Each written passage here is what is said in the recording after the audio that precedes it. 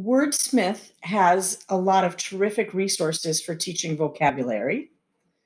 Now, the free subscription doesn't actually have a ton, but the individual subscription is only $9.95 a year.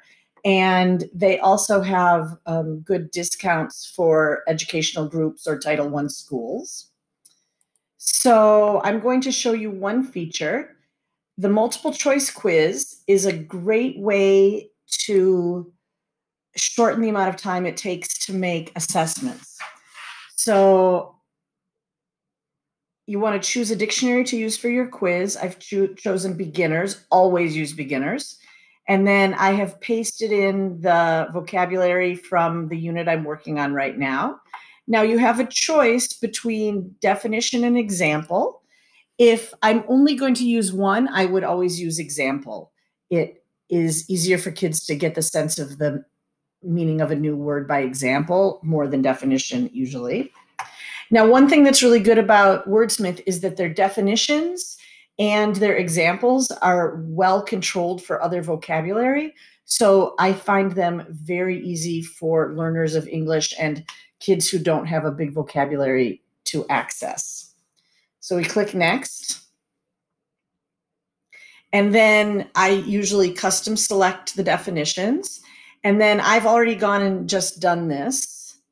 Um, so you want to check the sense that you want to include in your text. And I usually um, pick ones that are very similar to the sense that we had in the article that we read. Okay, so I do that. I go next.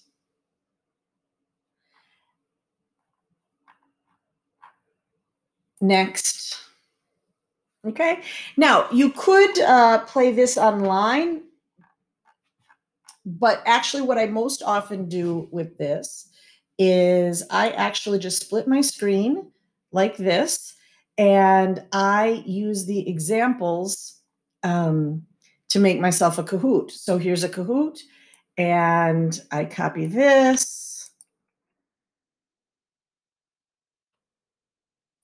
just copy the answers, or sometimes I type them, but just not having to start from scratch and think of it on your own, it makes it so much faster. And then I might make myself a picture for this, um, but you get the idea. So I have here a bank that I can use to make um, questions in my Kahoot very quickly. Now, before when I picked example, you can also pick um, definition. So I could use a mixture of definitions and examples. And I will tell you what, no matter what we read um, during the week, on Friday, it's a tradition in my class to have a vocabulary Kahoot. So we're going to revisit the vocabulary that we've had during the week. And it's an assessment. If I have kids put their real name that they play with, I have um, the ability to see who got what questions right, but kids don't feel like they're taking a test. They feel like they're playing a game. So, Wordsmyth and Kahoot is a great combination.